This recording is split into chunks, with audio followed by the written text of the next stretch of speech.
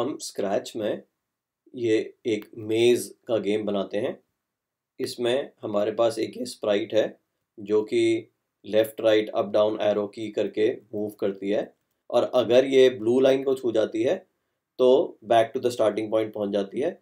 और वैसे ही अगर ये जो पफर फ़िश घूम रही है, इसको छू जाती है तो उससे भी ये back to the starting point पहुँच जाती है। और हमें करना क्या है? कि इस मेज़ में, इस स्प्राइट को, इस केक तक हमें पहुंचाना है। बिना ब्लू लाइन छुए और बिना ये पफर फ़िश छुए। तो हम सीखते हैं, ये मेज़ का गेम हम स्क्रैच में कैसे बनाते हैं।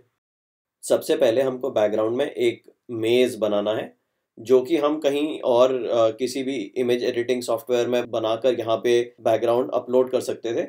दूसरा तरीका है स्क्रैच में ही हम इसको बना सकते हैं। तो अगर हम बैकड्रॉप में जा रहे हैं, उसके बाद हम यहाँ पर अपना बैकड्रॉप खुद बना सकते हैं। तो कोई हम पहले एक लाइट कलर बैकग्राउंड का सिलेक्ट करते हैं और इस फिल को हमने फुल किया हुआ है और आउटलाइन को हमने बंद कर दिया। और तब अगर हम ये स्क्वायर चूज़ करके स्क्वायर बना रहे हैं तो इस तरीके से हमारा बैकग्राउंड बन गया। जो कि परफेक्टली हमारे स्टेज पर फिट हो जाता है। फिर नेक्स्ट स्टेप है कि हम मेज़ बना रहे हैं। तो मेज़ के लिए हम अराउंड आउटलाइन टेन की रखते हैं।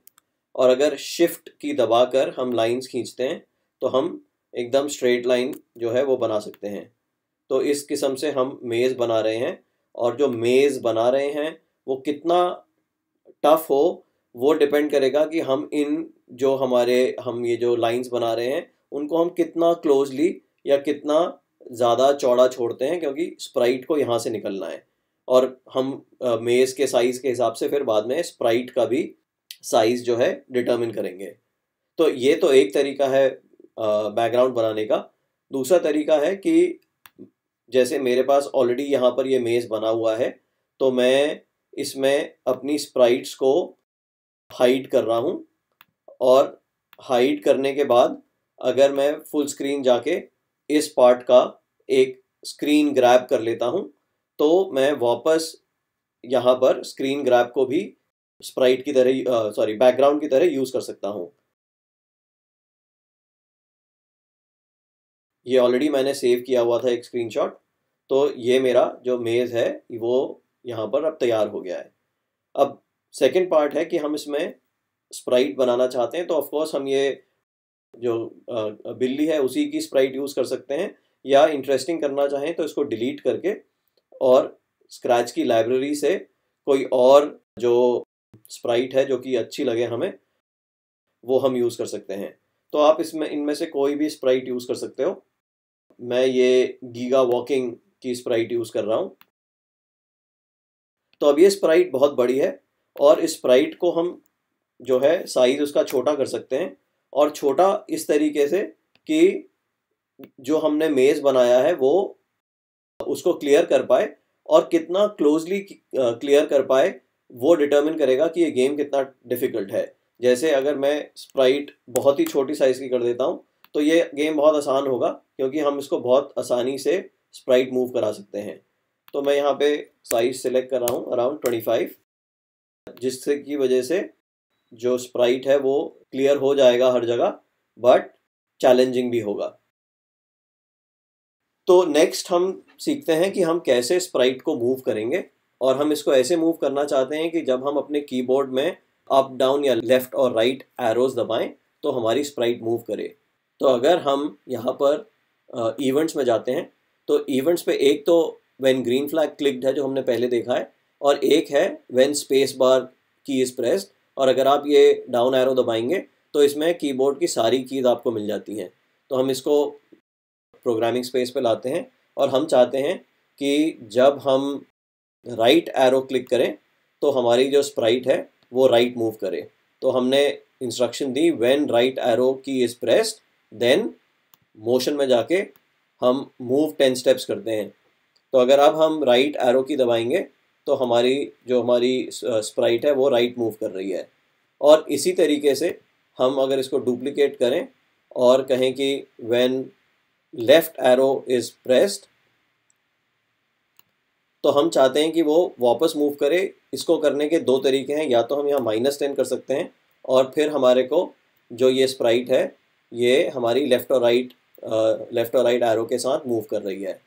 पर इसको करने का एक और तरीका है, क्योंकि हम अप एंड डाउन एरो भी डालना चाहते हैं कि हम इसको टेन रखते हैं और हम मोशन से जाके पॉइंट इन डायरेक्शन वाला प्रोग्रामिंग ब्लॉक निकालते हैं और हम इसको लगाते हैं कि when when right arrow key is pressed हम चाहते हैं कि वो राइट right की तरफ़ टेन स्टेप्स मूव करे और एक और मूव हमने ब्लॉक निकाला। हम चाहते हैं कि when left arrow key is pressed तो वो लेफ़्ट की तरफ़ मूव करे। तो अगर हमने इतना बनाया तो अगर अब मैं राइट एरो दबा रहा हूँ तो स्प्राइट राइट जा रही है, और लेफ़्ट दबा रहा हूँ तो लेफ़्ट जा रही है, पर वो इन्वर्ट भी हो जा रही है। तो हम चाहते हैं कि वो स्प्राइट इन्वर्ट ना हो तो इस, इसके लिए एक और हम ब्लॉक ले रहे हैं, जिसका नाम है set rotation style to left and right. तो अब हम क्या इंस्ट्रक्शन दे रहे हैं कंप्यूटर को कि when green flag is pressed set rotation style to left and right इसमें और ऑप्शंस भी हैं। अभी हम लेफ़्ट एंड राइट वाला ऑप्शन ले रहे हैं। तो अगर अब मैं स्टार्ट करता हूँ तो मैं जब राइट कर रहा हूँ तो वो राइट की डायरेक्शन में देखकर राइट की तरफ़ स्प्राइट मूव कर रही है और लेफ़्ट में लेफ़्ट की तरफ़ मूव कर रही है। तो अब मैं इसी को फिर से पूरे ब्लॉक को डुप्लीकेट कर रहा हूँ। और मैं कह रहा हूँ कि अगर अप एरो इज़ क्लिक तो डायरेक्शन अप में मूव करना और डुप्लीकेट अगर down arrow key is pressed तो डायरेक्शन 180 डिग्रीज में मूव करना। तो अब लेफ़्ट एरो राइट एरो और डाउन और अप नेक्स्ट हम देखते हैं कि अगर इस वक्त हम दबा रहे हैं राइट एरो तो हमारी जो स्प्राइट है वो चलती जा रही है। हम चाहते हैं कि जब वो इन मेज़ की बाउंड्री इन ब्लू ब्लू कलर वाली बाउंड्री से छुएँ अगर तो जो है वो वापस स्टार्टिंग पोजीशन पे पहुँच जाए। तो सबसे पहले तो हम क्या करते हैं कि हम स्टार्टिंग पोजीशन डिफाइन कर देते हैं स्प्राइट की। तो अगर मोशन में हम जाते हैं तो यहाँ पर एक प्रोग्रामिंग ब्लॉक है जो कह रहा है go to X and Y coordinates तो एक्स एक्सेस जो है, वो ये एक्सेस है और वाई एक्सेस ये है। इस वक्त हमारी स्प्राइट जो है, वो minus two twenty five X और वन थर्टी सिक्स वाई पर है। तो आप यहाँ ध्यान दीजिएगा कि जैसे ही मैं स्प्राइट को हिलाता हूँ, ये कोऑर्डिनेट्स अपने आप अपडेट हो जाते हैं। तो मैं जहाँ पर भी स्प्राइट को चाहता हूँ, वहाँ लाऊँगा और उसके बाद go to X and Y यहाँ डाल देता हूँ। तो अब अगर स्प्राइट कहीं पर भी है, जैसे ही मैं ग्रीन फ्लैग दबाऊँगा, वो वापस स्टार्टिंग पोजीशन पे आ जाएगी। दूसरी बात यह है कि हो सकता है कि अभी जो हमारी ये स्प्राइट है, ये लेफ़्ट डायरेक्शन में देख रही है। हम चाहते हैं कि जब ये शुरू हो तो ये राइट डायरेक्शन में देखे तो ज़्यादा अच्छा लगेगा। तो इसके लिए हम फिर से पॉइंट इन डायरेक्शन वाला भी यहाँ लगा देते हैं और ये 90 डिग्रीज ठीक है। तो अगर अब हम दबाएँगे तो हमारी स्प्राइट स्टार्टिंग पोजीशन और राइट देखते हुए इस कॉन्फ़िगरेशन में आ जाएगी। तो अब हमारी स्प्राइट स्टार्टिंग पोजीशन हमने डिफ़ाइन कर दी मूवमेंट हमने डिफ़ाइन कर दिया। अब हम कोलिजन जो है उसको डिफ़ाइन करते हैं। तो कोलिजन डिफ़ाइन करने के लिए हम सेंसिंग ब्लॉक यूज़ करेंगे और सेंसिंग में कई किस्म की सेंसिंग है। हम टचिंग कलर वाला सेंस लेंगे। तो टचिंग कलर का क्या मतलब है कि अगर ये स्प्राइट एक पर्टिकुलर कलर टच करे, इस केस में ब्लू तो कुछ हो।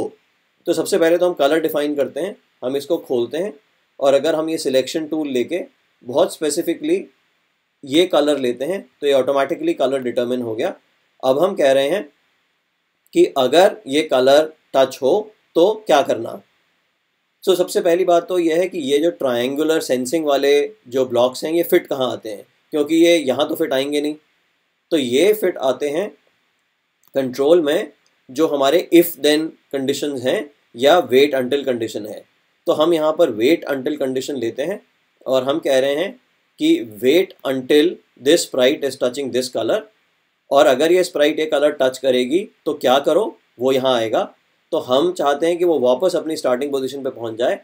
तो मोशन पे अगर हम जाते हैं तो हमारे पास यहाँ पे ये ऑलरेडी है go to this particular X and Y coordinates तो हम ये ले सकते हैं पर हम एक चीज़ और भी कर सकते हैं कि rather than go to go to में क्या होगा? वो जहाँ पर भी होगी कट से यहाँ पहुँच जाएगी। हम चाहते हैं कि जब कोलिजन हो तो जहाँ पर हो, वहाँ से ग्लाइड करते हुए पहुँचे।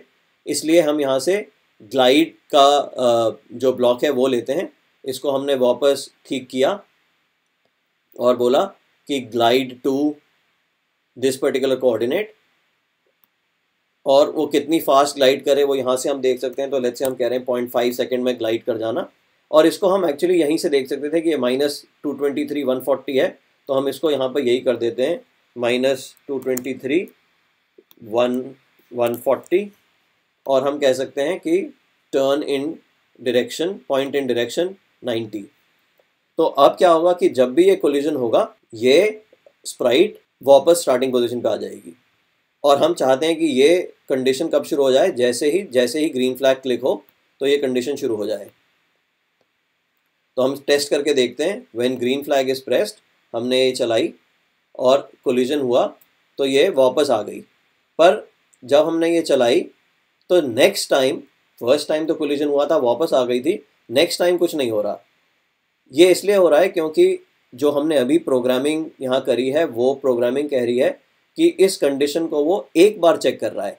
और वो जब वो ट्रू हो जा रही है, वो वो फुलफ़िल हो रही है, पर फिर वंस फुलफिल्ड तो सेकेंड टाइम नहीं चेक होगी।